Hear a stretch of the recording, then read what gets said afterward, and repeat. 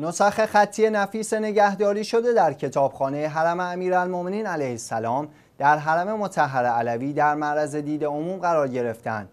برخی از این نسخ خطی به قرن اول هجری باز می‌گردند که در میان این نسخ قرآنی منصوب به حضرت امیرالمؤمنین علیه السلام نیز وجود دارد که به نمایش درآمده است.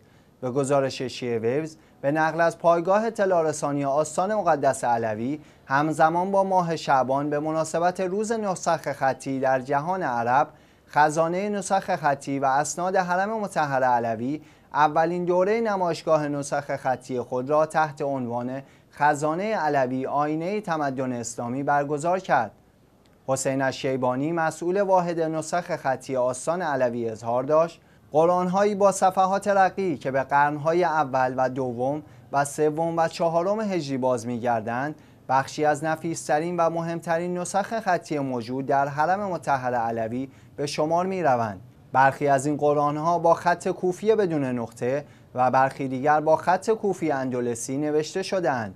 به افزود در بین این نسخ قرآنی وجود دارد که در صفحه آن این جمله نوشته شده است این را علی ابن ابی طالب چهل سال پس از بعثت نبوی نگاشت.